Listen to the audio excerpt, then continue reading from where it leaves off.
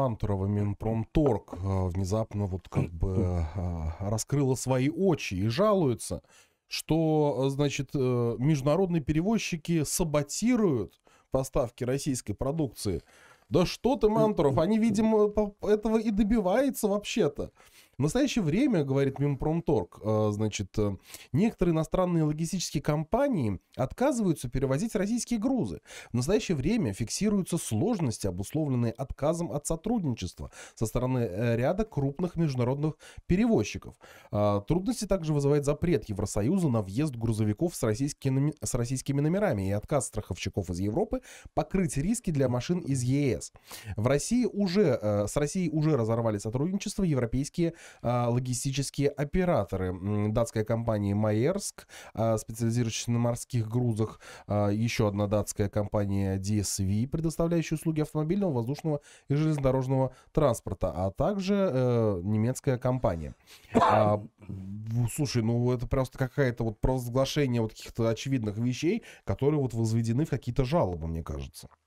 Да нет, Мантуров э, в очередной раз пытается сделать э, дураками всех граждан, которые это прочитают, рассчитывать, что в эту чушь кто-то поверит. Но, по-моему, очевидно абсолютно, да, что Мантуров, как э, один из руководителей правительства, министр целый, блин, еще и промышленности и торговли нашей страны, одно из ключевых, важнейших да, ведомств, Понятно же, что он знает, что такое санкции, он знает, в связи с чем э, возникает такой конфликт на рынке, да, дефицит и э, отсутствие да, вот этих логистических возможностей. Он прекрасно понимает, что это никакой не саботаж, это не какие-то подковерные вещи. Да, саботаж это что такое? Это какие-то все равно э, более-менее прикрытые, да, втихую производимые вещи, которые потом выплескиваются в большую проблему. Здесь же международные логистические транспортные компании открыто заявили об этом. И если Мантуров не знает, но это еще хуже да, того представления, что мы о нем э, имеем. Да. Прикидываться дурачком, конечно, можно, это лучше, чем, наверное, я не знаю, предателем или негодяем, или там еще хуже, да, там каких, каких-нибудь э, обвинений в коррупции там, и так далее.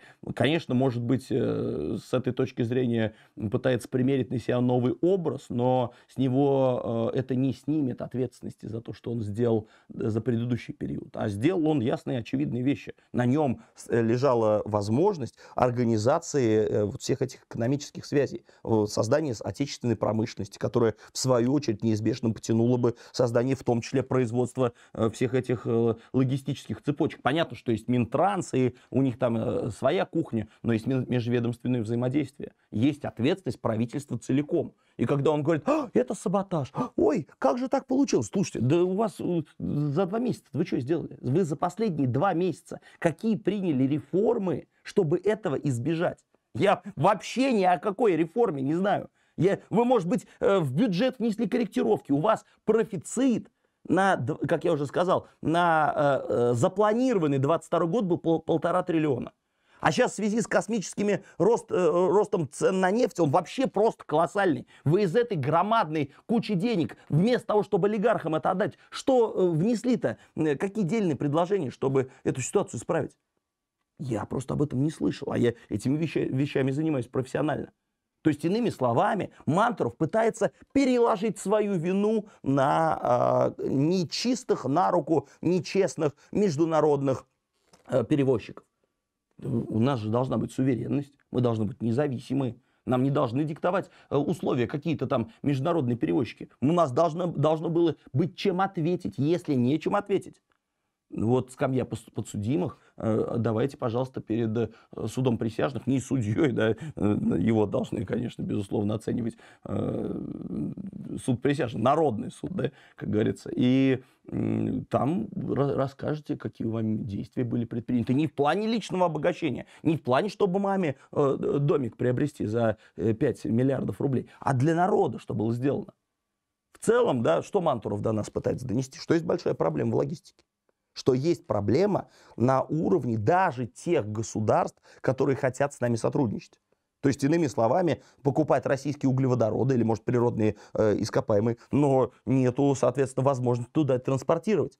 Мало того, что есть санкции, которые ограничивают возможность э, э, продать э, или там наоборот приобрести, так есть еще и проблемы с доставками э, этого всего. А что вы понимали, если говорить о морском транспорте, то речь э, идет не только о э, самих танкерах там, да, или каких-то э, кораблях для перевозок. Речь идет о страховке, которая является обязательной. Речь идет о э, разрешении на э, то, чтобы в порту разгрузиться, что тоже сейчас большие проблемы. И господин Мантуров один из людей, который за это виновен. Потому что на протяжении последних 10 лет, сколько он является министром, на минуточку, а он, наверное, более 10 лет, мне кажется, он года с 8, может быть, там плюс-минус, да, э, является или там с 11 хотя бы, да? Да нет, наверное, да, наверное, с 11 с 12 он является министром. Но не суть важно. Э, ну, импортозамещение осталось на нуле. А этот человек министр промышленности. То есть, если говорить о импортозамещениях, созданиях отечественных производств, которые заместят э, потребности в иностранных каких-то э, продукции, да, благах, он не продвинулся ни на шаг. Мало того, за эти 10 лет у России есть статистика по закрытию, по банкротству, по уничтожению, в том числе советских производств, которые наладом дышат, э, не имеют там серьезного обновления основных фондов, но тем не менее были на плаву. Этот человек внес большой вклад, чтобы они отправились, да, как говорится, в небытие, как и вся советская промышленность.